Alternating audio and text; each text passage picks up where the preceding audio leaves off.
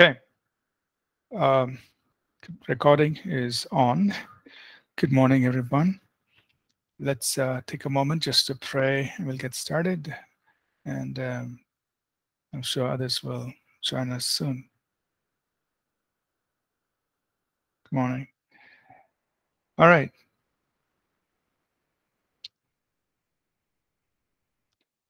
Uh, let's see. Samuel, why don't you please pray with us and we'll get started? Sure, Pastor. Heavenly Father, thank you for this time. We are truly grateful that you've brought us together and you've given us this opportunity to spend uh, time um, learning about uh, about faith, about our work, um, about uh, Christian apologetics and uh, supernatural ministry.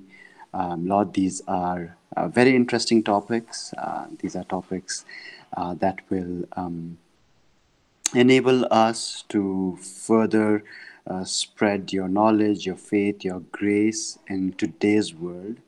Um, Lord, we ask you to open our minds, open our hearts, um, speak to us, Holy Spirit, fill us. Uh, we dedicate Pastor Ashish into your hands. We commit his teaching.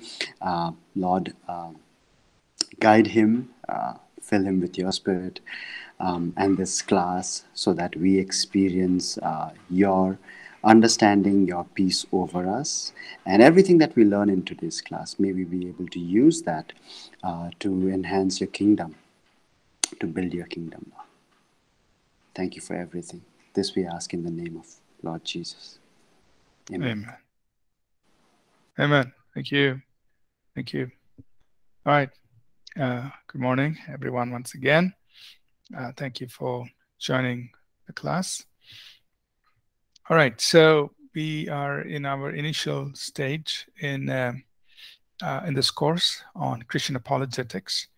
And uh, uh, at this point, uh, we are dealing with the main theme, which is on the existence of God and creation. So we we touched on the existence of God a little earlier, and they've kind of transitioned a little bit now into um, addressing the issue of creation. Of course, uh, when we talk about creation, obviously uh, the implication is there is God, there is creator God who created everything. So we are kind of dealing with that issue, um, that topic. Um, and uh, so last class, last week, we looked at creation uh, and we said, okay, uh, speaking, you know, uh, at a overall, with an overall perspective, uh, when we look at cosmology, the origin, at a high level, we, we gave six areas. Uh, when you look at it from a uh, from cosmology, when you look at it from physics, when you look at it from uh, biochemistry, when you look at it from a biology or a genetics perspective, when you look at it from a uh, psychology or a moral consciousness perspective, like when you look at it from these different angles, uh, we ultimately come back to the same question or the same thing that you know somebody had to give rise to what we are seeing. Yeah, uh, the intelligence that we are seeing, the greatness that we are seeing, you know. So it all comes back to saying, how did it all begin? What was the genesis of these things?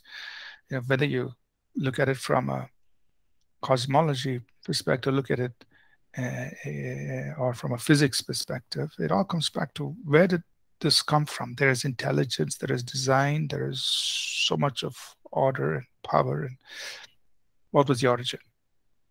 So we now kind of uh, uh, what we're going to do today. So so so the real big question is okay, where did it all start? Where did it all begin?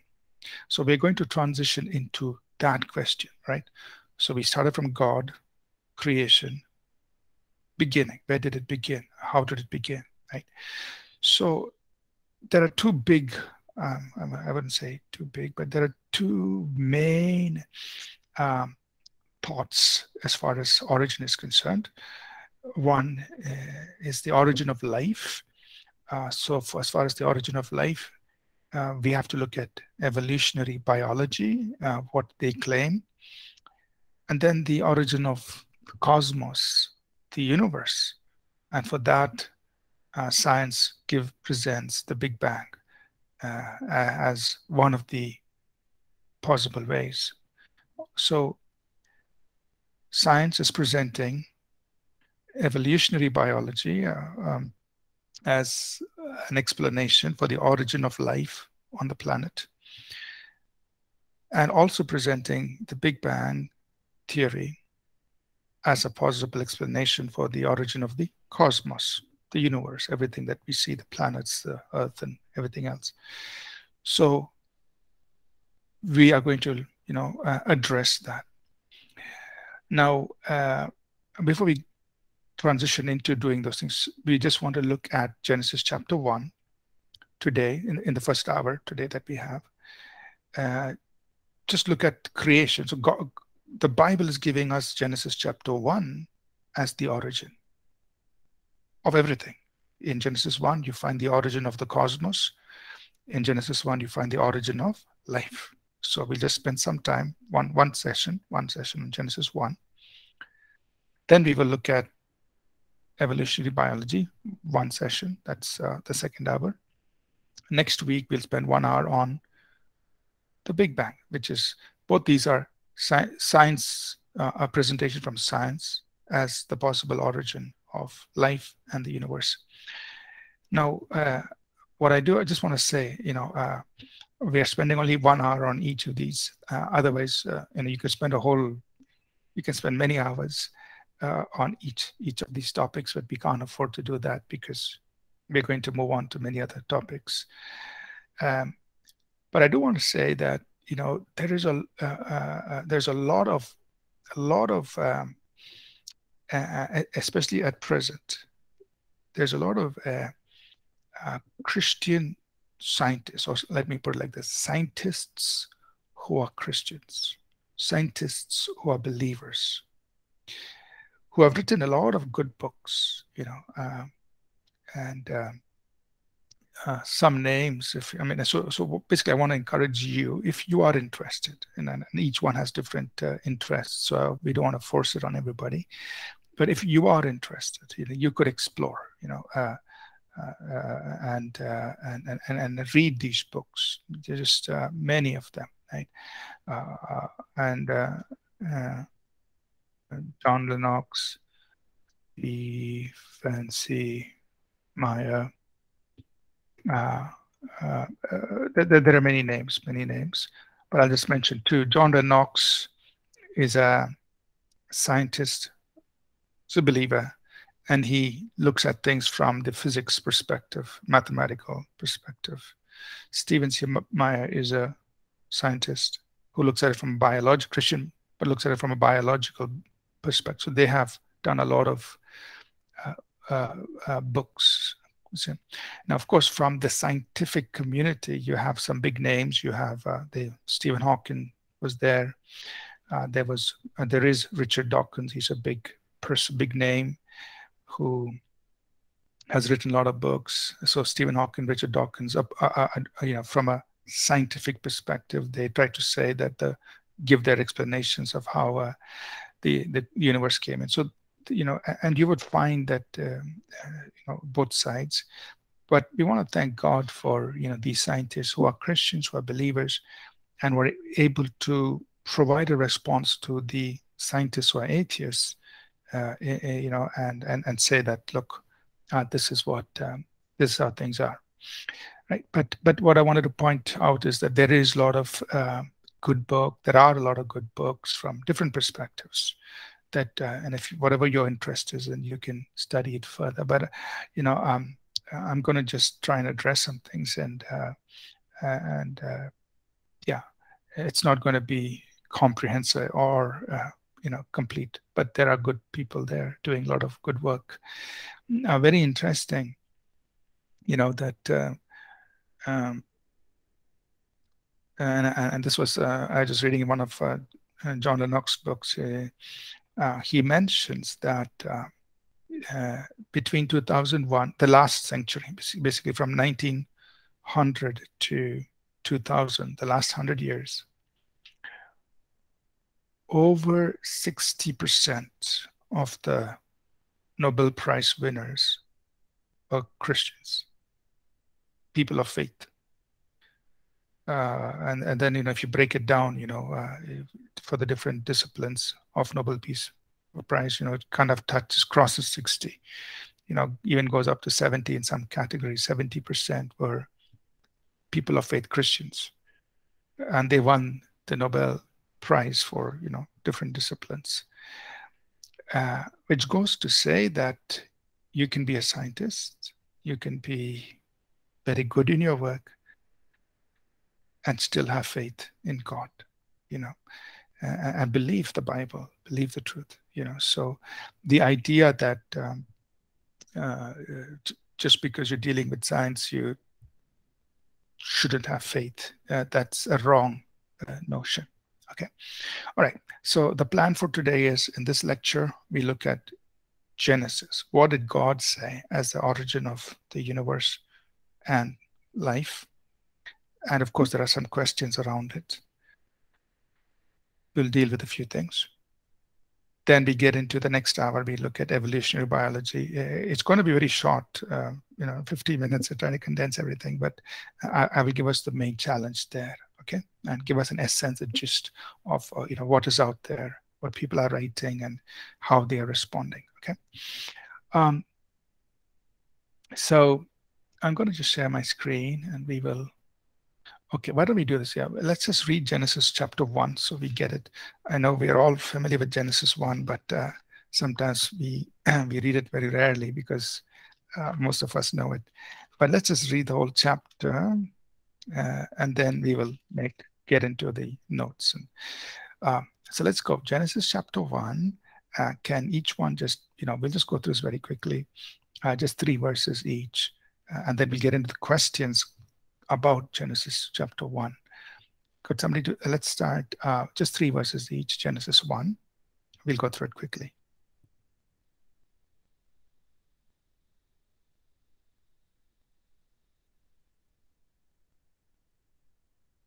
Okay, let's start. I could start us off. Please go ahead, Samuel. The creation of the world.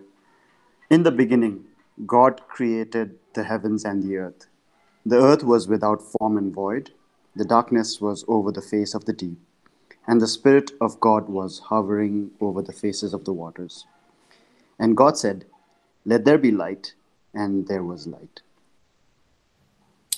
And, and God saw the light that it was good, and God divided the light from the darkness. God called the, light, the light day, and darkness he called night. So the evening and the morning were the first day.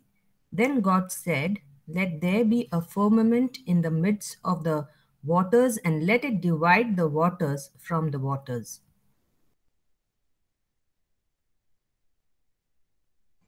Verse 7, yeah. Thus God uh, made a pivot and divided the waters which were under the firmament of uh, from the waters uh, which were above the firmament and we, it was so. And god called the firmament heaven. So the evening and morning were uh, second day. Um, then God said, Let the waters be under heaven uh, be together uh, together in one place, and dry land uh, appears, uh, and it was so. And God called the dry land earth, and the gathering together of the waters he called seas. And God saw that it was good. Then God said, Let the earth bring forth grass, the herb that yields seed, and the fruit tree that yields fruits, fruit according to its kind, whose seed is in itself on the earth. And it was so. And the earth brought forth grass, the herb that yields seed according to the kind, and the tree that yields fruit, whose seed is in itself according to its kind. And God saw that it was good.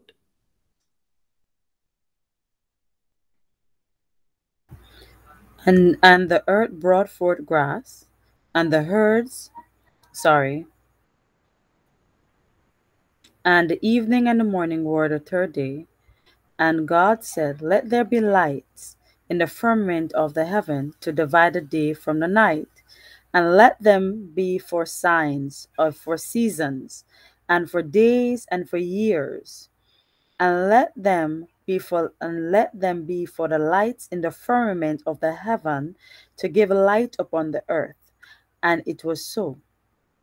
And God made two great lights, the greater light to rule the day, and the lesser night to rule the night. He made the stars also. And God set them in the firmament of the heaven to give them upon the earth, to give light upon the earth. Okay, somebody, verse 18.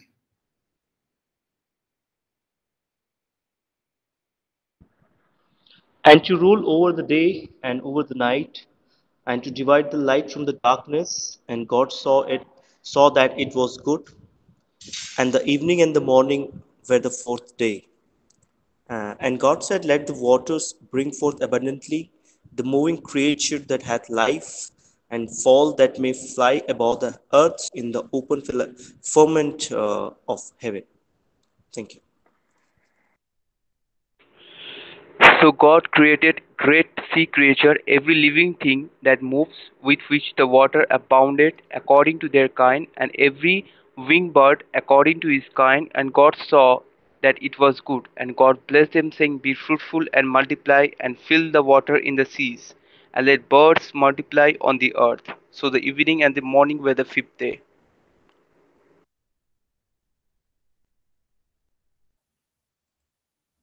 And God said, let the earth bring forth living creatures according to their kind, livestock, and creeping things, and beasts of the earth according to their kinds. And it was so. And God made made the beasts of the earth according to their kind. Oh, sorry, I'm repeating myself. Um, verse 25, okay. yeah. Okay, sure. And God made the beast of the earth according to their kind, and the living stock according to their kind, and everything that crept on the on the ground according to its kinds. And God saw that it was good. Then God said, Let us make man in our image, after our likeness, and let them have dominion over the fish of the sea, and over the birds of the heaven, and over the livestock, and over all the earth, and over everything creeping things that creep, creeps on the, on the earth. So God created man in his own image. In the image of God, he created him. Male and female, he created them. Then God blessed them, and God said to them, Be fruitful and multiply. Fill the earth and subdue it. Have dominion over the fish of the sea, over the birds of the air, and over every living thing that moves on the earth. And God said, See, I have given you every herb that yields seed, which is on the face of all the earth, and every tree whose fruits fruit yields seed. So uh, to you uh, it shall be for food. Also to every beast of the earth, to every bird of the air, and to everything that creeps on the earth, in which there is life. I have given every green herb for food, and it was so. Then God saw everything that he had made, and indeed it was very good. So the evening and the morning were the sixth day. All right. Um, all right. Yeah, it, it would be. Thank you. Thank you. All right. So yeah, it, it does continue on into chapter two, where um, you know God forms man out of the dust of the earth. We, we get those details uh, in chapter 2. But in Genesis 1, we have the Bible account of how everything came into existence. and it says God created.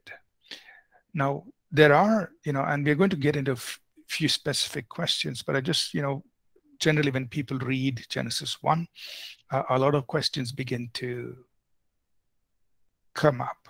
You know, for instance, I just uh, highlight some differences, right?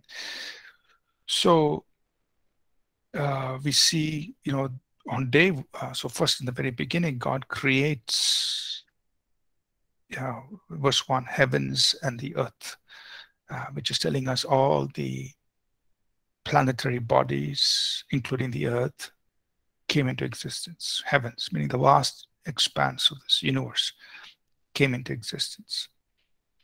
Then there is light. But the sun is created only on the fourth day. So people, you know, that's one of the questions we will look at. You know, so where was light when the sun was, you know, for uh, there was light in the very beginning, but uh, on day one, but sun was created in day four. So that people will question that, you know, hey, see, it's wrong. This is just made up. Uh, another big difference between Bible's account and evolutionary biology is, according to evolutionary biology, somehow, you know, when all these things, you know, uh, things came into existence, life started like this, came out of the water, came into the land, and then moved to flying. Birds that can fly. The adaptation happened. According to the Bible account, sea creatures were made, birds were made. Then on the next day, land animals were made, created, you know. So it's a different sequence. So, so hey, you know, so there's an immediate mismatch in what evolutionary biology is saying. Well, you had to start from the water, you came onto the land, and then you went into the air. Uh, whereas God just created everything in the sea, everything in the air, and the next day he created things on the land, uh, you know, life on the land. That's a difference. Then, when we look at the Big Bang, things had to begin with the stars,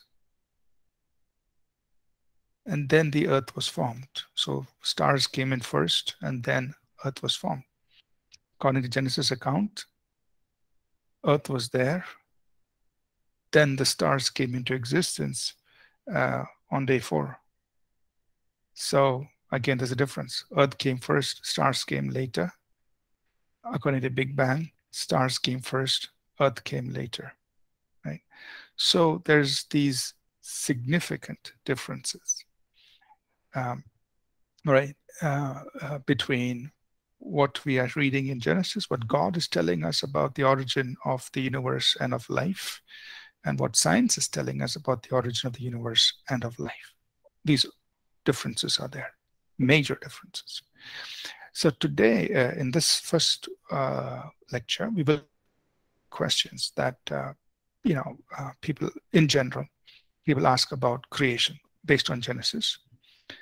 We will go into uh, evolutionary biology next class, next lecture, talk about Big Bang. And then as we close, we will take up some more specific questions connecting all these, you know, based on what science says through biology and through uh, uh, physics and uh, some more questions, more specific questions, okay? But let's talk about some general questions that um, people ask in relation to Genesis and uh, ideas that are there, which I think uh, we should uh, just be prepared to think about and provide a response. Okay, so I'm just going to the notes here, and uh, so we've read Genesis one. So a common question is, you know, okay, uh, the Earth, according to the, you know, according to science, the universe, uh, as of now, as of now, according to science, the universe is about 14 billion years old. And the Earth is about 4 billion years old. Now, the numbers can change over time. You know, uh, initially it began with 8 and then 10, and then it's somewhere now around 14. I mean, what, what people are putting out. But I'm just saying, in general, science tells us, well, the universe is 14 billion years old. The Earth is about 4 billion years old. But according to Genesis, you know, everything happened. Uh, and according to Genesis, it all happened in a six day period. Right? So, how do we explain that? How do we explain that? Now, uh, uh, uh, as part of question two, I will go into some other theories that, uh, you know, um, that people put out. But, um, you know, generally, uh, sorry, going back to the first question, my response and the response that I want to just place before all of us is that in the creative act of God, and I mentioned this, uh, I think, in the last week class last week, that we believe in the creative act of God, time was compressed in his creative act. That means what we, through our scientific, when I say we, people, scientists, um, who through the scientific process come to the conclusion as thousands, millions, billions of years, we believe that in the creative act of God, it all happened the moment he spoke. Take, for example, the sun. Okay. So we read here, you know, uh, verse 14, God said, Let there be lights. That means the stars. And uh, and he created the lights, the sun, big big stars and small stars. How did it happen? He said, Let there be lights, stars, luminaries, luminous bodies. He just said, The stars came into existence big stars, small stars. So you take one star, the sun. Oh, so today, from what we know, this sun, the sun, this you know, comparatively, for us, it's a big star, but comparatively, it's a small star. Um, is actually millions of miles in diameter. The sun is so big and it's so intense in its heat. It's it's huge just for us to understand how big one star is. So obviously, uh, through the scientific process, you know, for something like that to take place uh, and come together and, and, and, and it generates so much of energy, uh, science says, well, it would have taken so many millions of years or billions of years for all that to come together. Well, what we are saying here, or what the Bible is telling us here, is it took an instant when God said, Let there be lights in the firmament, that means in this vast expanse of the universe, the heavenly realms, let there be lights in the firmament, stars started popping up everywhere, big stars and small stars. But all happened as he spoke. All the energy, all the matter that was needed to come into existence came in as he spoke. So, in an instant, these came into being.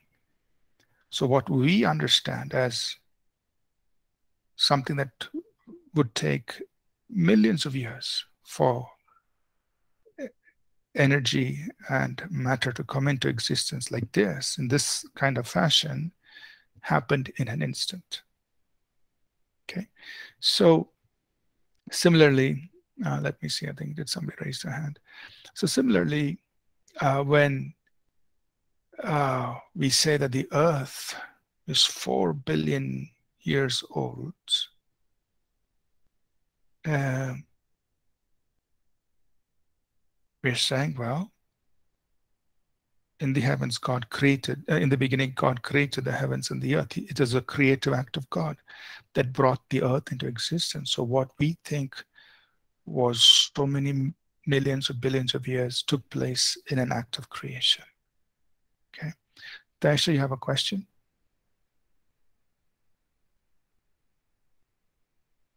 Yes, I do. Go ahead. I wanted to draw a reference in um, what about the scripture that says a day is like a thousand years in the sight of God? That's Mhm. one they they would draw from to say it could be that the Bible is saying it's a day, but it's not really a natural day as in our day, 12 hour, 24 hour day. Um, it's not a day. That that could be a, or an argument, you know, to support that theory. Yes, yes. Yeah. So, So um, how, sorry, I was saying, so how would one respond to if that point is brought up? Because that one usually comes along with these theories. mm, mm, yeah.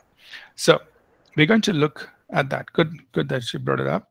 So that's going. That's what we address in our second question, right, under our second question, uh, where you know there is what we refer to as the day theory, where people say, and sometimes, mean, and this of course is from the Christian community, where they say that uh, well, uh, each of these days that we see here in Genesis um, is actually thousands of years because the bible says a day is like a thousand years and a thousand years is like a day. That's second peter 3 but we will see as we will explain when we get into the next question that actually is uh, uh, it doesn't hold and I'll, and we will state the reasons right? We'll give specific reasons why that doesn't hold when we read genesis 1 i mean i just give you a preview. So that means we're saying god rested on the seventh day. God rested for you know a thousand years. Why would God need to rest a thousand years? You know, if we are being consistent that every day is like a thousand years or every day is like a million years, then when it comes to day seven, uh, God rested for, you know, seven million years. Or he didn't do anything for seven million years. So he had everything. And then if you also look at it a little closer, he created Adam on day six then he waited, you know, example, a thousand years or seven million years before he created Eve. So by the time Eve came along, Adam was seven million years old. You see? So, and I, you know, we will go into all these details in the next question. So that day theory doesn't actually hold because it, it makes everything very absurd. So uh, uh, yeah, so we'll come into the details and we'll respond to that specific question uh, in the next part, okay? All right. But good, you brought it up and it's something we will address. So to begin with, we must understand the creative act of God, that in the creative act of God, what happened? Energy, matter, time, and space were brought into existence and they were compressed in an instant. So when you look at the Big Bang Theory, right, which we will talk about next week, basically, through science, they agree that there was a beginning.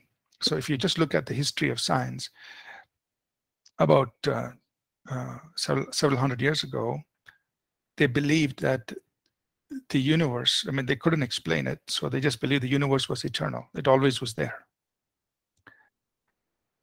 Uh, it had, it just was, it was always there. But then, you know, uh, science began to understand that hey, actually things had a beginning, and and there's a scientific reason for it. So science redefined things, saying no, we things had to have a beginning. Uh, uh, so Einstein himself played a major part in helping us understand that the universe had a beginning. So everything changed. Science said, okay, the universe had a beginning. But if the universe had a beginning, how did it start? So science says there was nothing. In the beginning, there was nothing. And out of nothing came space, energy, matter, and time came into existence. So time started at that moment. So basically, science, you know, in, in, the Big Bang, we're saying out of nothing, there was nothing, but out of nothing came energy, matter, space, and time started. So that's a big step of faith to believe that. Or we say everything had a beginning. And as the Bible says, God created. So God always existed. And He created, He brought into existence these four important components of time, energy, matter, and space. He caused it to come into being. And in his creative act, what we consider as millions and billions of years, it all came together in a moment of time. And most importantly, like we pointed out in our class, class last week, the design for all of these things. The design for all of these things. So uh, science cannot explain to us where did all this the design come from? For instance science tells us there is gravity. And gravity is so much you know 9.8 meters per second squared. This is gravity. It exists here on earth. And you go up you know science can give us all the details. It goes up here till this point and then you're out of that um, uh, gravitational pull so science can tell us all that, but doesn't tell us how did gravity come into existence in the first place. Science can tell us about, like this, many things, you know, the electromagnetic uh, pull is there. It can measure it for us. So science only tells us what is there. It doesn't answer the question, how did it come into existence? So that's the first thing as far as Genesis 1 is concerned. Uh, we believe in the creative act of God. And in God's creative act, all of these things were compressed into time. And that we believe. It's by faith. Because we believe God is powerful enough to do that. Okay. The second big question that Taisha pointed out is what we want to discuss, again, based on Genesis 1, is, uh, you know, we read it. We read six days. You know, what happened in six days. So science is telling us, no, no, no, no, no, no. It's not six days. It's millions and billions of years. Like I mentioned, Earth is, you know, Earth is estimated to be 4 billion years old the universe is 14 million years old, 14 billion years old. Uh, so these six days don't seem right. How would we respond to that? Now, what has happened in the Christian community, in the Christian community, is that uh, over the years, you know, we we, we respect science because it is a you know a, a, a important field. It's a valid field. They are doing research. But in an effort to make genesis and science to reconcile these six days in genesis and uh, the information that science is giving us in an effort to reconcile the two, Christians uh, have come put forward certain theories or ideas in trying to explain Genesis chapter 1. So there are three main theories. One is, you know, we uh, they've just given names to it. One is a gap theory, and I'll explain this. There's a day theory, and there's a theistic evolution or guided evolution. Now, again, these are theories. You cannot even prove it from scripture. Uh, but this is coming from the Christian community as a way to try and reconcile science to Genesis chapter 1. But I just want to point out the dangers in these theories. And if you ask me, I do not subscribe to these th three theories, and for the reasons I will share in the uh, that I will mention now. Right. So the first theory, and I'll just go through this because you will read about it, and you know, uh, uh and so we'll come to a conclusion here. But let, us just look at the. So the first theory is this. It's called the gap theory. The gap theory is that there's a time gap between Genesis chapter 1, verse 1 and Genesis chapter 1, verse 2 because it says, In the beginning, God created the heavens and the earth. So that means, verse 1, the heavens, space was brought into existence, planetary bodies, planets. So that would include, you know, what we, uh, uh, other, uh, you know, even asteroids, you know, whatever bodies that came in. There are the, the non-luminary bodies, the, the non-stars were brought into existence according to Genesis 1-1, including the earth. And then there is verse 2, the earth was without form and void, and darkness was on the face of the waters. So the gap theory is that there was a big time difference between Genesis 1-1 and Genesis 1-2. Now, how big was it? It doesn't tell us. So people say, well, that could have been millions of years or billions of years. So therefore, when science says the earth is 4 billion years old, well, there's, you know, between Genesis 1 1 and Genesis 1 2, they say 4 billion years old. That's why the earth is so old.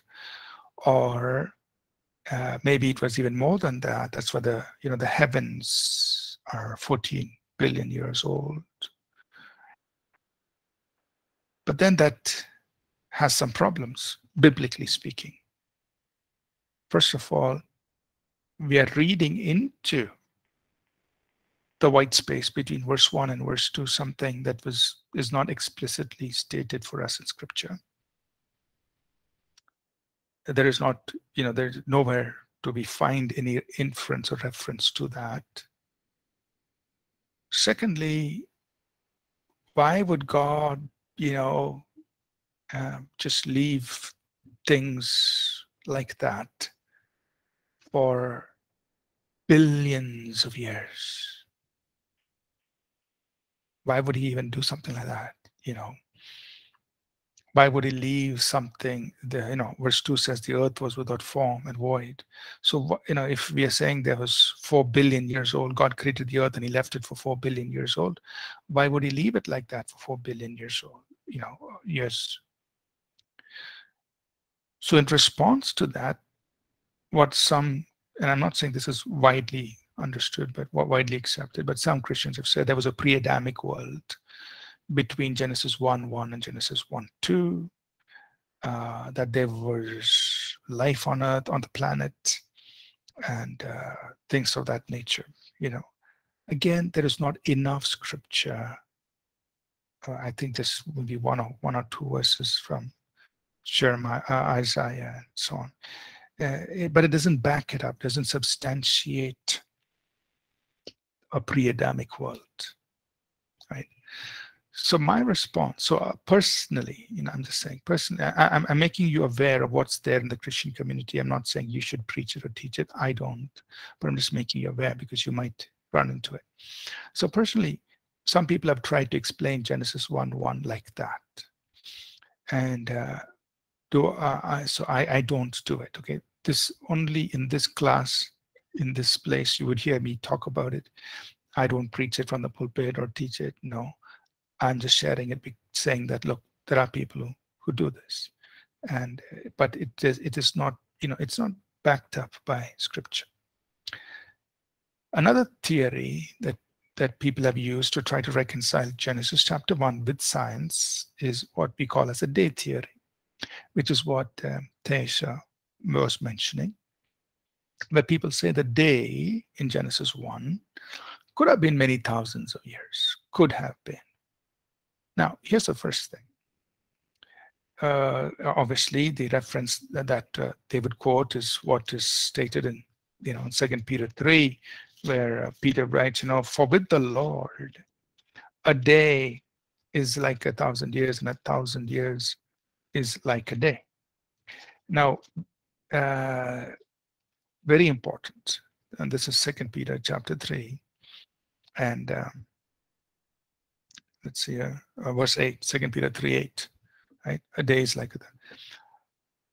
Now, just talking about Second Peter three eight. First of all, we must understand the context of what Peter is talking about is uh, uh, uh, he's talking about he's, he's getting believers ready for the coming of the Lord. Right? So, so he says, you know, don't be slack concerning the coming of the Lord. So he's he's talking about the Lord's return, and in that context, he's saying, don't forget you know, time is of no essence to God. The second thing that I want to point out about 2 Peter 3 8 is he's using a comparison. That means that with the Lord, one day is as a thousand years. He didn't say one day is a thousand years, but he said as a thousand years. So we also, so when we use that, we are just using a comparison. We are not stating a fact. We are saying it is like this, something like this. So it's not meant to be taken literally. Uh, it's meant to be taken as, uh, uh you know, a, a, figure of speech, as something representative. You know, so uh, uh, you know, we even in our English language we use it. Uh, you know, use a man. you know, we use we, we use language like this you know um, you know uh, you know we, if, if, for example if you want to say something about a person you would say well uh, you know he is as like as somebody it doesn't mean that he is that person but he is like that you know whether you're talking about his mannerisms or character or so on as it's used as a comparison so that's something we need to keep in mind at 2 Peter 3.8. But more importantly, if you take the day theory of 1,000 years and you start applying it to everything here in Genesis 1, because the day, you know, uh, is repeated often, you'll find that it gets becomes very absurd. Right? So let's look at this day theory.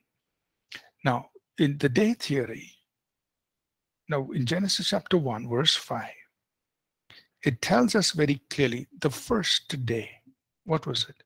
It was the evening and the morning. So it repeats that over and over again. Genesis verse 1 5. again in verse 8, and I've given on the, the, the verses here, you, we, we know it. And verse 13 and verse 19, it says, the evening and the morning was the first day. So it's not leaving uh, anything ambiguous. Evening and the morning was the first day. Right? Now, obviously, some will say, well, the sun wasn't there at that time. The sun was created on day four. There's no sun. So how could there be evening and morning? Well, the answer is pretty obvious. The Earth was created, and the Earth was already rotating on its axis. What defines an evening and a morning is of one full rotation of the earth. Right? Uh, uh, not a revolution, but a rotation of the earth defines uh, a day. So you don't need the sun to define the day. Uh, a 24-hour period, a 24-hour period is is defined not not by the sun. It's defined by one full rotation of the earth. So it's fair fair to say that a single rotation of the earth, which defines an evening and a morning, was is, was a day, and uh, it is still possible for a day to take place simply by the rotation of the earth in the absence of the sun. Doesn't matter. So that's the first thing. What is it? Throughout Genesis, it is explicitly stated evening and morning. All right. It's already 950. Uh, all right. Um, okay.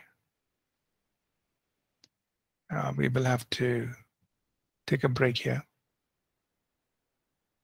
Um, all right, so, uh, all right. Uh, is my voice clear? Others can hear it. I see, uh, I clear. I see Sam's comment. So I'm sorry, I just saw it now. It's clear. Okay, fine. All right. Um, let's take a quick break. Um, I um, we'll come back to this and let's see how far we can go. Uh, I'll try to go a little faster. And uh, okay, let's take a quick break and we'll be back in, uh, yeah, 10 minutes. Okay. Thank you.